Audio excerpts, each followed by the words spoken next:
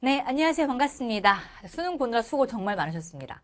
여러분들 이번 시험이 어, 보통 시험보다 당연히 아주 많은 긴장을 불러일으키는 그런 시험이었을 거예요. 자, 아마도 이걸 보고 있는 분들은요, 수능을 치르고 나서 빠른 문성을 통해 내가 잘 풀었는가를 확인하는 친구들, 친구들일 것이고, 자, 그로 인해 어느 정도는 그 다음 시험을 준비하는 친구들이라고 생각이 됩니다. 완전 노베이스가 보는 건 아니라는 생각이 들고요. 한번 받고 좀 공부 좀 했는데 어, 내가 어떻게 풀었나 확인해보고 싶은 친구들이 아마 볼 거란 말이죠. 이걸 감안해서 제가 진행하도록 할 거고요. 너무 쉬운 문제는 빨리빨리 패스할 거예요. 그리고 주요 문제들을 어떻게 푸는 것이 맞았는가. 자, 수능의 특성 이것을 분석하도록 하겠습니다. 자, 그럼 같이 들어가 볼게요. 우선 1번은요, 아주 무난 무난한 문제였습니다. 자, 랴오강 유역의 친석기 분화라고 바로 처음에 키워드를 딱딱 줬죠. 자, 그래서 랴오강의 홍산 문화는 유물이 요거 1번이니까 자, 이건 그냥 어, 너무 쉽게 풀리는 문제였어요. 자, 1번은 원래 이렇게 나온다. 그죠? 넘어가시고 아, 참고로 여기서 3번 같은 경우는 어, 상나라, 자, 상나라의 청동 소치자 그죠? 이거는 많이 친구들이 혹시 몰라서 궁금하니까 이거는 얼리터우가 아니라 상나라 거니까 꼭 기억해 놓으세요. 뭐라고요? 이게 얼리터우가 아니라 상나라 거라고 상 알겠죠? 넘어갑니다. 자, 2번 가국가. 자, 이번 문제에 등장하는 자, 가 국가는요. 항우를 물리치고 천하를 차지했어. 아, 그럼 이거는 한 고조 유방이구나. 자, 그럼 이제 가는 한 나라가 될 것이고요. 그 아래 군국제에 대한 설명이 쫙 나오고 있어요. 아, 보니까는 동성으로 왕이 된 자도 있고요. 종실의 자제들을 왕으로 봉해서 특정 지역을 분봉해주고 있죠. 그죠? 자, 이건 한 나라다. 한에 대한 설명. 답은 요거죠. 유교를 통치념으로 채택했다. 이거는 한 무제식이긴 한데 어쨌든 한나라에 대한 거니까 답은 5번입니다. 자, 팔조법 고조선 상앙은 진나라긴 하지만 진나라가 통일하기 전 상황이고요. 다이카 계신 도당 유학생이고요. 삼선육부 수나라 당나라 등이 되겠죠. 넘어갑니다. 3번. 여러분 이 문제가 어려웠어요. 근데 이 문제는 아마 쌍사하는 친구들은 알 거야. 이 문제는요. 어, 뭔가 세계사와 결이 비슷해. 그치? 여기를 보니까 신은 명을 받든 후 변경을 떠나 백구교를 건너 북조의 땅에 갔다고 했어요.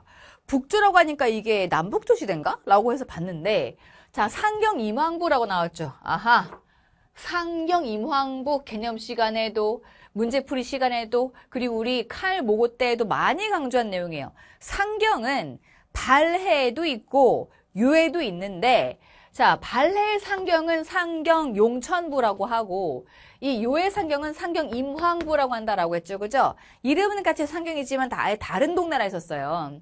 그러면서 접반사 부반 어, 접반부사가 말을 세우고 기다렸다. 자 접반부사는 남조의 황제의 성체가 건강하신가 물었대요. 여기 보니까 남조가 나와서 남조 남조. 여기 북조하고 남조가 있는 거야. 그치? 근데 상경인 거잖아 자 그러면서 신도 북조의 군주임이 태회 안부를 물었습니다. 서로 읍하고 북정에 이르렀습니다.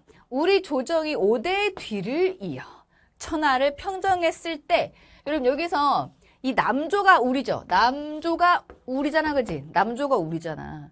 그럼 이거는 5대를 평정했어. 아, 5대 19 평정한 거구나. 그럼 이건 뭐겠다? 아하, 요거는 바로 시기적으로 보았을 때 바로 송나라가 되겠구나. 그래서 인사법을 행하지 않았습니다. 하지만 저들과 강화한 일에 사죄를 주고받을 때마다 관행 쪽으로 일을 반복해오고 있다 들었습니다. 라고 해서 그럼 이게 남조가 송이면 북조는 요겠구나 라고 하는 것이 보여지는 문제였습니다. 근데 이 문제가 남조 북조에 대한 그 단어 선택이 되게 어려웠다는 얘기지. 자 여러분 보세요. 따라서 선생님이 계속 강조. 키워드로 풀면 된다 안 된다? 안 된다. 맥락을 파악해야 한다. 남조북조라고 아무리 나와도 위진남북조가 아니라 다른 자료를 보고서 시기 파악하셔야 되는 거죠. 그죠? 자, 그리고 북조라고 하는 이 지역도 전반적으로 봤을 때 상경 임황부라고 하는 것, 남쪽 나라가 어떤 국가인지를 보고 유추로, 즉 추론해서 푸는 것이 중요했습니다. 어려운 문제였고요. 오답률 베스트 5 중에서 top 2에 들어가는 문제였습니다. 정답 몇 번? 2번이죠. 금나라한테 망했죠. 자, 1번 남송하고 군신 관계 맺은 거 금나라고요. 3번은 흉노고요. 4번은 고구려 조공 책봉인 거니까 북조라 남조가 되겠죠. 이건 위진 남북조의 북조 남조지, 그지? 자, 5번에 카라코룸 수도 두고 이거는 어, 원나라가 되겠지. 칭기스칸이라거나 아니면 어, 거의 대부분 5번은 칭기스칸에 대한 설명이 될 것 같아요. 정답은 2번입니다.